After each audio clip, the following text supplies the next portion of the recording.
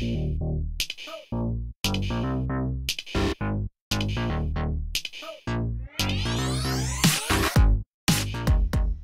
und herzlich willkommen zu meinem Let's Tame the Untamable.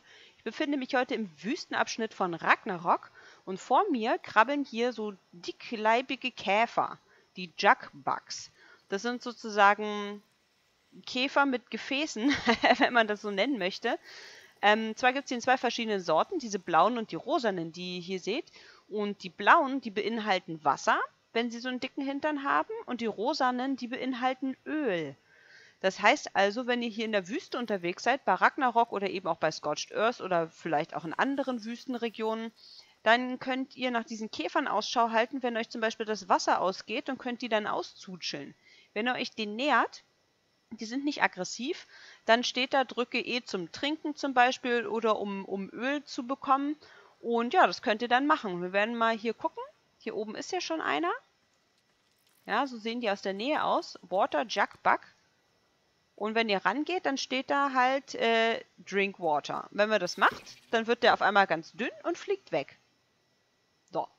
Und da unten ist eben einer mit Öl, da funktioniert es auf die gleiche Art und Weise, nur dass ihr dann eben kein Wasser, sondern Öl bekommt. Allerdings ist da unten jetzt auch schon wieder so ein blöder Pegomastax. Mm, mm, mm, Finden wir denn hier noch welche in der Nähe? Ja, wie ihr seht, die fliehen auch äh, sehr weit. Und wenn die anderen Käfer das mitbekommen, dann fliehen die auch. Ja, also ihr müsst da schon ein bisschen aufpassen. Wenn ihr irgendwie einen auszutschelt, dann hauen alle in der Gegend ab. So, hier unten haben wir nochmal einen mit Öl. Gucken wir uns den mal aus der Nähe an. Und hier steht Öl Jug Bug. Die sind immer Level 1. Take Oil. Jetzt haben wir Öl genommen von dem. Oh, da kommt eine Titanomyra. Ja, dich haben wir schon vorgestellt. Du kannst uns gerne vom Leib bleiben. Da ist sie. Da kommt sie.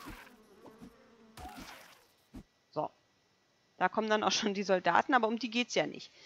Ja, wie gesagt, der Jugbug, also den gibt es halt nur in der Wüste, in den Wüstenregionen. Ähm, wenn ihr ihn tötet, dann, ich glaube, ihr kriegt auch Chitin von denen, aber eigentlich will man die nicht töten, sondern die sind ja wirklich sehr nützlich, um sie eben auszutrinken und, und Öl zu bekommen. Ich glaube, der flieht immer noch da hinten. ja, an sich äh, harmlos, man kann sie eben nicht zähmen, deswegen werden sie jetzt hier vorgestellt. Und ähm, ja, ab und zu wirklich eine sehr nützliche Quelle. Eben einmal mit Wasser und da hinten fliegt der mit Öl.